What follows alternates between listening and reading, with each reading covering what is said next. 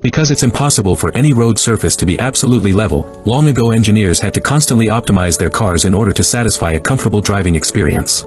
There needed to be something between the tires and the passenger to keep the body on a level surface at all times, and today a look at the engineer's solution back then. This is a wheel fitted to the car that can only move up and down. Let the tires forward, encounter bumps up and down adaptive, there will be an instrument above the tire can draw lines to record the track and bumps, so we can see very intuitively when the bumps in the tire's movement amplitude. If we are driving at high speeds, the bumps will be even greater. Now add a relatively stiff spring between the platform and the tire and let's look at it in slow motion. The bumps are reduced because the spring absorbs some of the energy. What if we replace it with a relatively soft spring? The recording instrument presents a gentler bump line because the softer spring provides more cushioning for the bump. The problem becomes more complicated if there are four wheels and two springs, one front and one rear, as in a car. Until now the springs in the front of a car had to be on the stiffer side so that the axle of the wheel in front was in a straight line with the springs. If the front and rear are not aligned, the stiff biased springs will definitely have a greater trajectory. We can see the stiff front and soft rear springs causing huge bumps when they hit bumps. The only way to make a spring softer is to have the spring focus on doing only one thing well, and that is absorbing the energy from the bumps. Suppose we replace the bouncing axle with an immovable crossmember, and the tire is mounted next to two arms parallel to it, and is moving around a point. So even if we hit a bump, the wheel is still perpendicular to the ground and the crossmember. Then the stiff springs are replaced with softer coil springs, making the tires always upright since we use a fixed crossmember and swinging arms. If the front and rear springs are of equal stiffness, the whole is also balanced. But too soft springs can cause problems, as the springs will be overcompressed for huge bumps, and will always have a spring left over for smaller bumps. So the engineers designed a buffer to slow down the whole energy absorption process, which can be interpreted as a brake designed for the spring, so that the spring doesn't wobble excessively. Now we can test it again and see that the trajectory line can be said to be quite smooth. Under slow motion observation, there are no more tough bumps. With the buffer, the soft springs can absorb many shocks that cannot be absorbed perfectly, but of course safety always comes first in practical situations. The engineers have followed this principle to design a durable yet firm suspension.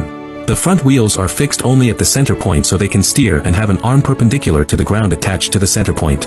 At the same time the two swing arms are connected to a fixed cross member and the springs are left with the task of absorbing energy.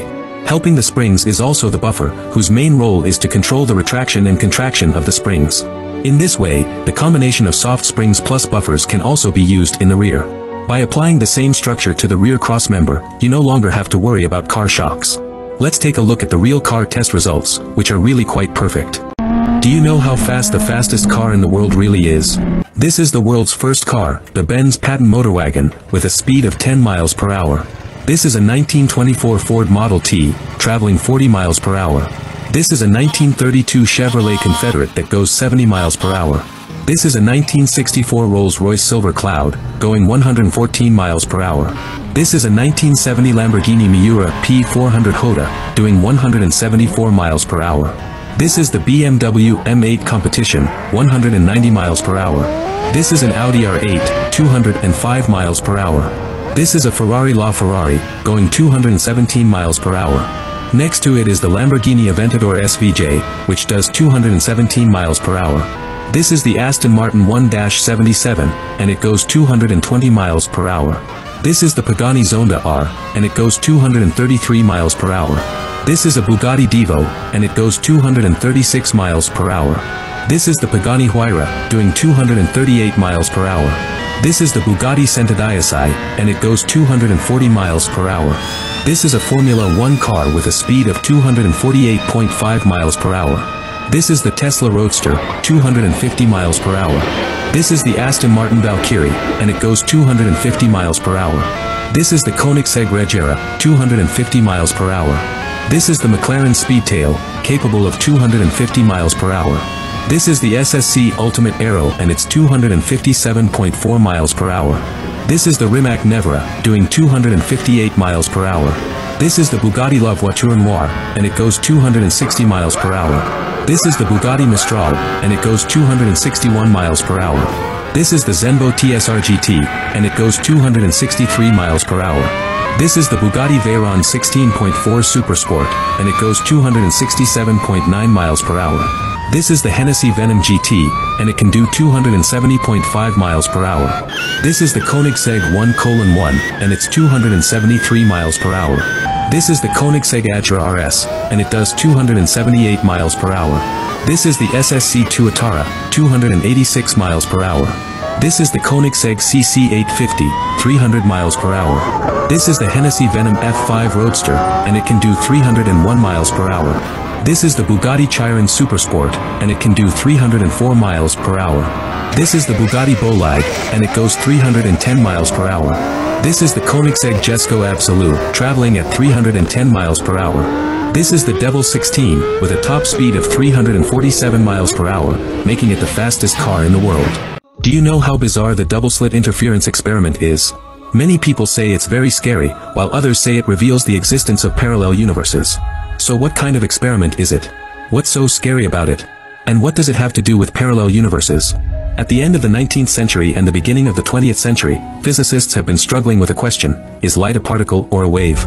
Previously, Newton thought that since light traveled in a straight line and reflected when it met an obstacle, it must be a particle. Given Newton's position in physics at the time, Newton's words were like the Bible, and the particle school, led by Newton carried on throughout the 18th century.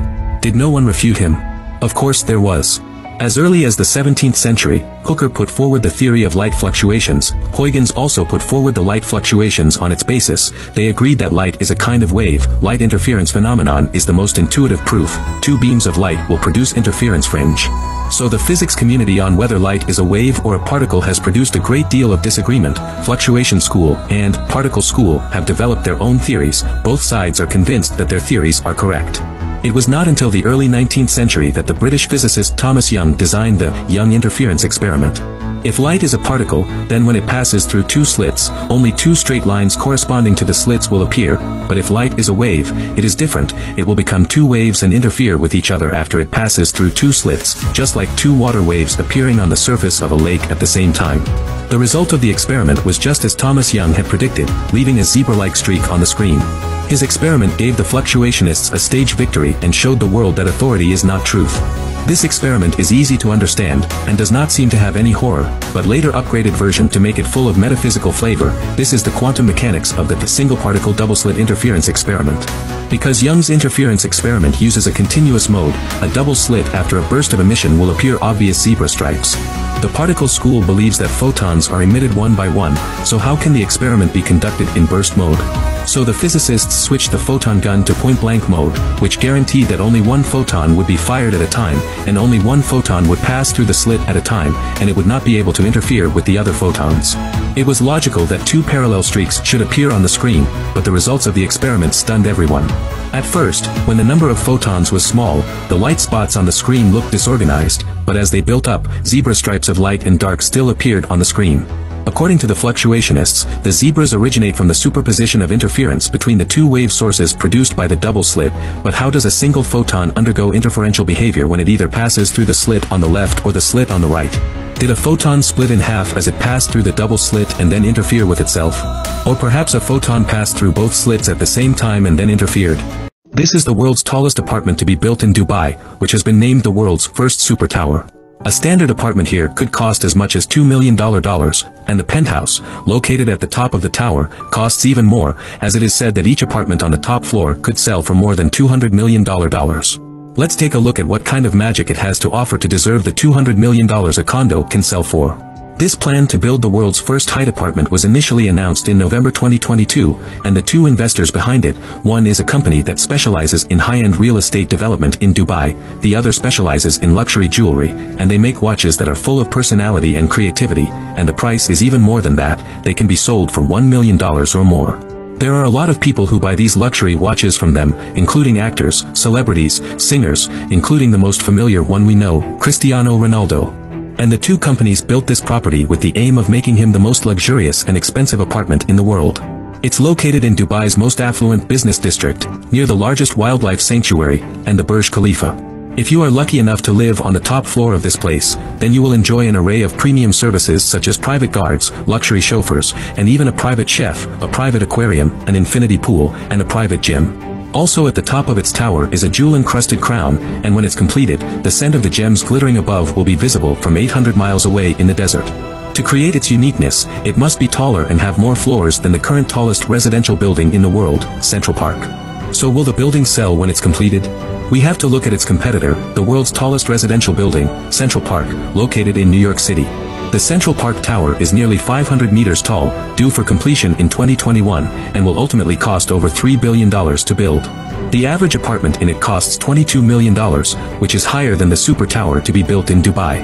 Apartments on the top floors go on sale in 2022 at a starting price of $250 million, but half of them remain unsold so far, with more wealthy people preferring a freestanding home with a courtyard and garden. And it's not only in New York City that apartments in such high-rises don't sell well, several high-rises over here in Dubai have half their floors still unsold. As we can see from the competition for the super tower, the building probably won't sell particularly well once it's built, so why would these two companies build such a luxurious super condo? This brings us to the philosophy and the products designed by their two companies. The character of their companies is all about individuality, luxury, and bold design, which is why they can build million-dollar watches and still sell them. The same goes for this super tower, if it was easy to build then the super rich probably wouldn't buy it, instead the more difficult they make this project the more those potential super rich will buy their product. So how many apartments do you think this super tower Dubai is building will sell in the future? Would you be willing to pay $2 million to live in it if it were you?